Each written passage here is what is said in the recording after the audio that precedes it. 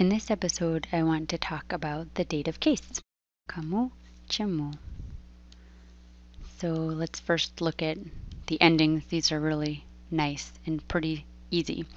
So most masculine nouns and all neuter nouns in the singular are going to take u or u. And masculine nouns that end in a or ya, like that have a feminine ending, and then feminine nouns take ya or e. And everybody, regardless of their gender, is um, am, yam, am, um, yam. So um, ami yami. All you have to do is pay attention to the spelling rules. And if it has a soft ending in the nominative case, it's going to take ya, right, or you. And if it has a hard ending in the nominative case, it's going to take yeah, u, or am. So pretty straightforward. Similarly with the adjectives and the pronouns. And again, just pay attention to your spelling rules, right? So use soft letters after sh. Okay, so when do we use the dative case? There are quite a few different times. In general, whenever you would say to whom or for whom in English, um, you're going to use the dative case. So let's look at a sentence in English and just kind of get our grammar figured out or parts of speech. So we've got Grandma reads a story to the children. So in this sentence, Grandma is the subject. Right? She's the person doing something. And what is she doing? She's reading. So that's our verb or predicate. And our direct object is what she's reading. So she's reading a story. So that's our direct object. And here comes our dative case to the children. So the children are are the recipients of this action of reading, right? So they're the people for whom this action is performed. So we use the dative case for recipients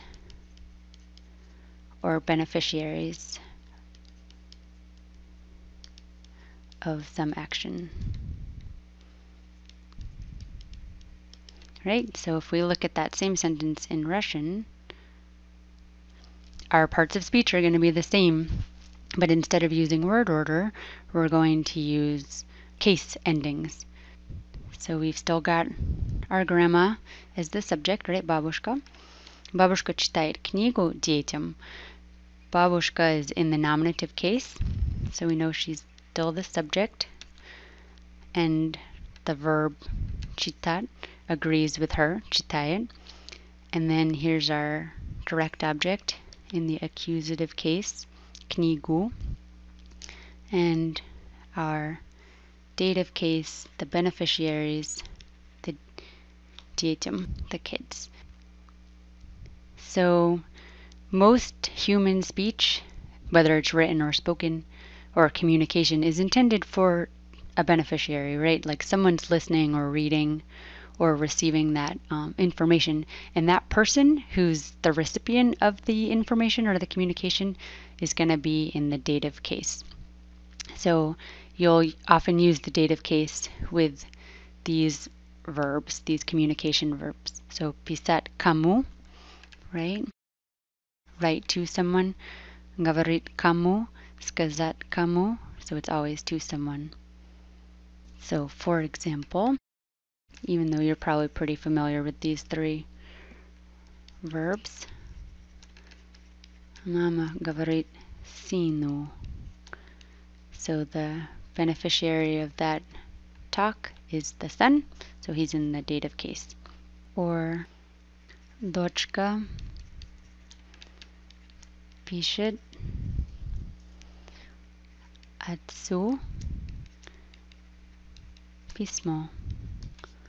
Кому она пишет письмо?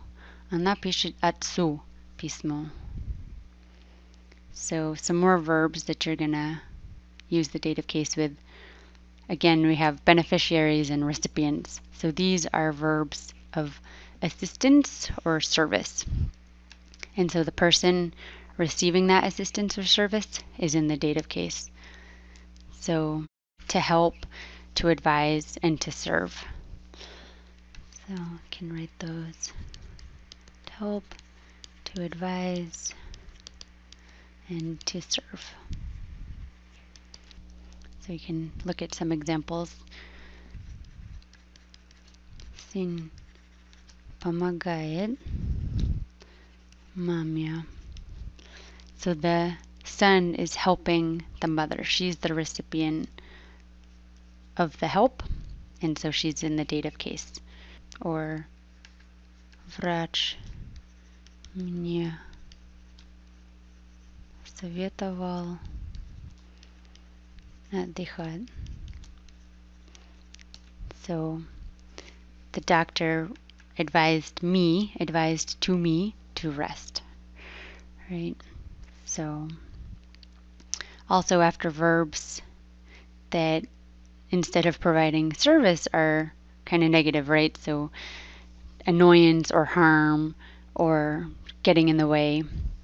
So these are all followed by the dative case. So again, the beneficiary, if you can call them that, or the recipient of this annoyance or harm or betrayal is in the dative case. That beneficiary or the recipient. So let's just look at one example. So, мальчик мешает сестре и брату заниматься. So, the little boy is getting in the way of his brothers and sisters studying, right? So, the sister and the brother are both beneficiaries or recipients of this getting in the way, um, and so they're in the dative case. We also use the dative case after verbs that permit or forbid something. So, позволять, разрешать, those both mean to allow or to permit to do something. And the person who's allowed or permitted to do something is in the dative case. Or запрещать is to forbid someone. So the person allowed or forbidden to act or do whatever is in the dative. So again, the recipient or the beneficiary of the action. So we could just look at one example. So отец запрещает сыну курить. So the father forbids his son to smoke. So the, the person receiving that is the son, and he's in the dative case. All right, and then after these verbs for to teach or to learn, so the noun that denotes the subject that's being taught or learnt is in the dative case. So, uchi to teach. So we've got отец учит дочерей. So the father teaches his daughters, so they're in the accusative case and the subject is going to be in the dative case.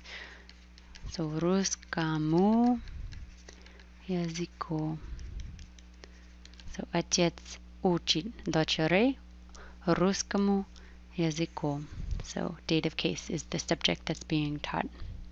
Or if we want to say to study, so this is meaning teach, right? Or if we want to say to study, студенты учатся русской litera. So again, the subject that's being studied is in the dative case. Okay, so those are the verbs that require the dative case. And now we'll look at nouns. And these make a lot of sense because they're just the nouns sort of most commonly used with the verbs, right? So if you're going to have a letter, pismo, you probably wrote it. And so pismo kamo who is the letter to to or подарок кому or помощь кому, совет кому. So they make sense. So письмо другу, подарок кому? Подарок детям. Right? Children love presents. Помощь старикам. To the elderly. Совет кому? Мне. So all the recipients of these nouns are in the dative case. There are also some adjectives that use or require the dative case. And these adjectives can be in their long or short form. So this is the long form in this one, and this is the short. So благодарный or благодарен is to be grateful to. So it's an adjective grateful to. To whom or to what are you grateful?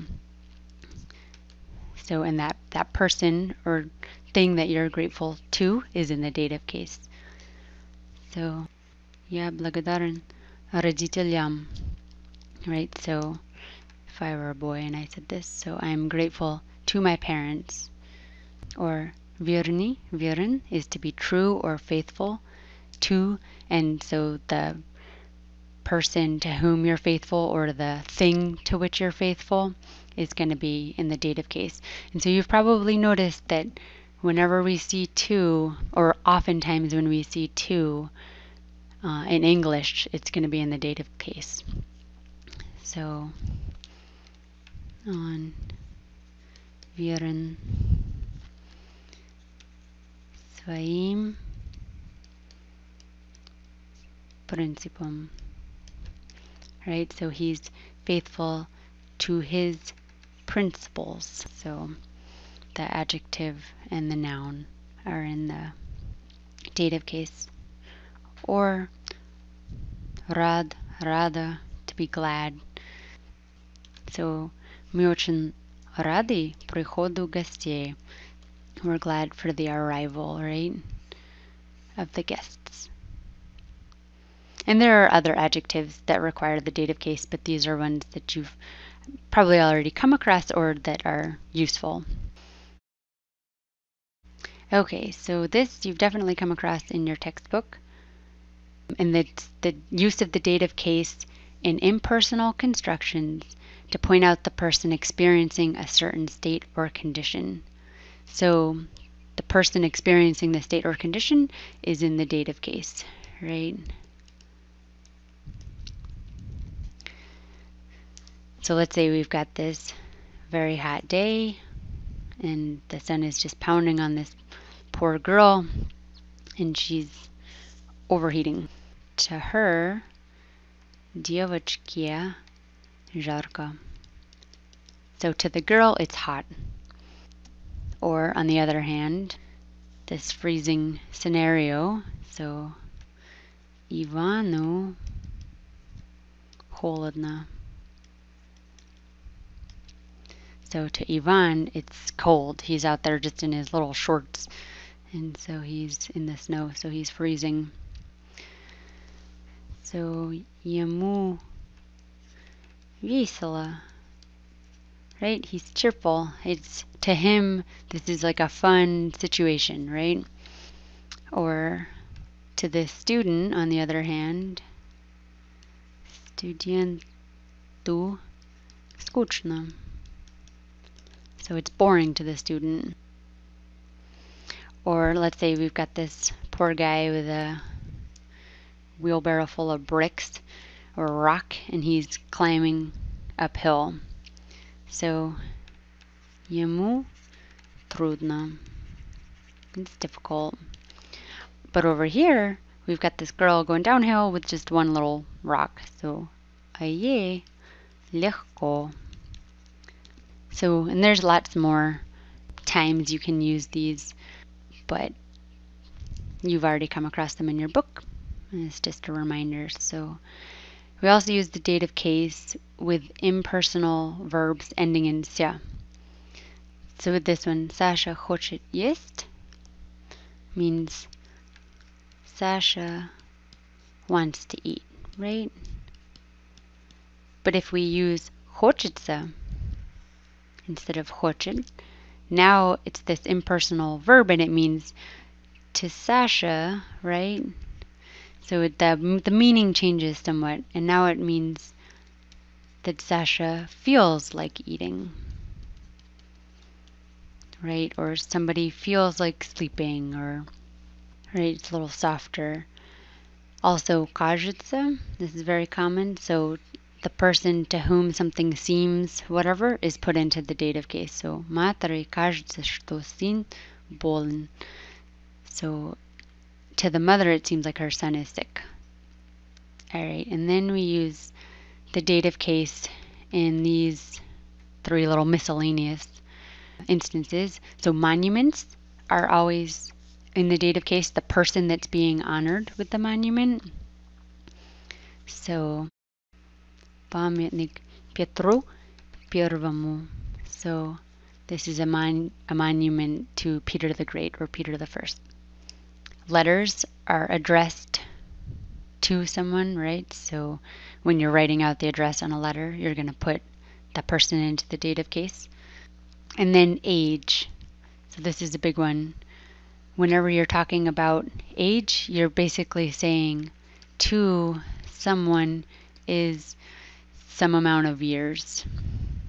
So instead of saying I am so many years, you say sort of you know, to me are this many years. So we could, you would ask someone, right? Сколько лет Ивану? Right, so how many years to Ivan? Ивану 20 лет.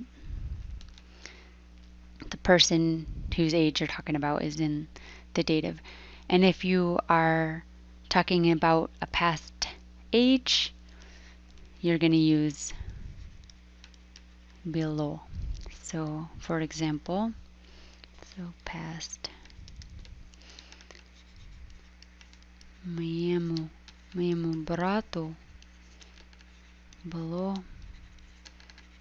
тогда пять лет. Okay, so we also use the dative case after certain prepositions. And the two most common prepositions are ka and po. There are a couple other prepositions, but you haven't come across them, and it's not really worth, you know, adding more extraneous information. So these are the most common, and they're definitely good to know. So ka means to someone or to or towards or sort of up to a spatial point. So up to some sort of geographic place or a, some sort of point.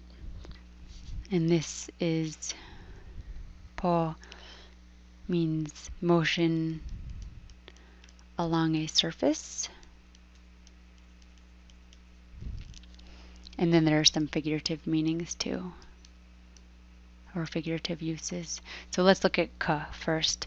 So we know when we're talking verbs of motion and we and we're going towards a person that we use ka plus the dative case, right? So больной пришел к врачу, right? So к the, to the doctor or я пошла к другу right? So ka, and then the person, or I go, if I went to my female friends, ka, padrugya. And then we can also use ka, meaning towards a spatial point, right? So ka, bergu, towards the shore, Guaradu, towards town or up to the town, like the car drove up to the town, or If you're approaching a border, up driving up to a border, or up, approaching even a figurative border or separation. Okay, so then po. So this was ka, and it's kuda.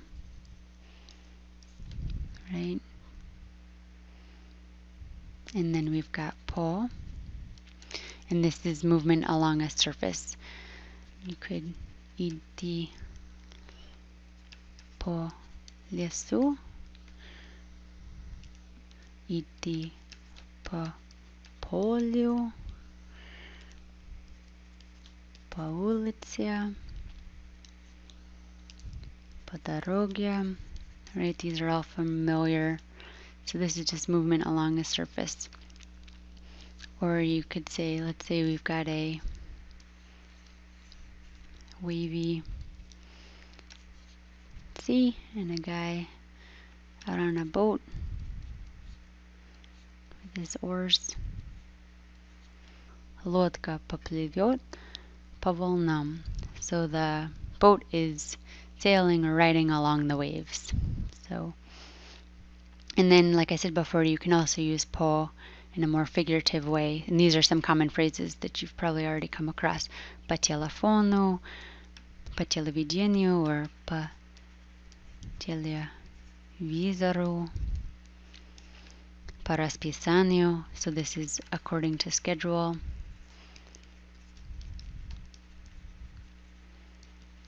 Or if you're talking about a lecture, um, you can indicate which subject it is.